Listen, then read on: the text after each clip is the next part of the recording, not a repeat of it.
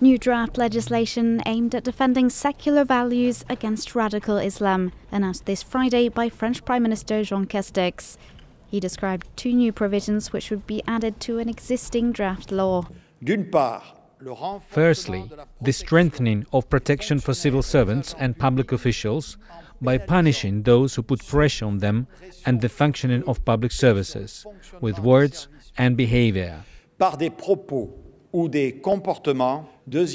Secondly, the possibility to sanction those who put personal information online, which could put the life of one of these public workers in danger, such as a teacher.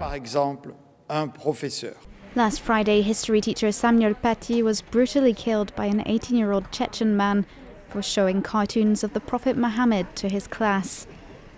The father of one of Paty's students and a known radical Islamist had recently run a social media campaign against the teacher.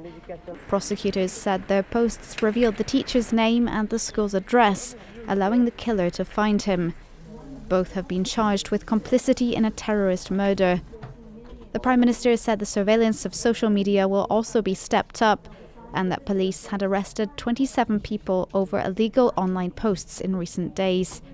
Police have carried out dozens of raids at addresses allegedly linked to radicalism over the past week, while the government has ordered the six month closure of a mosque in a suburb north of Paris.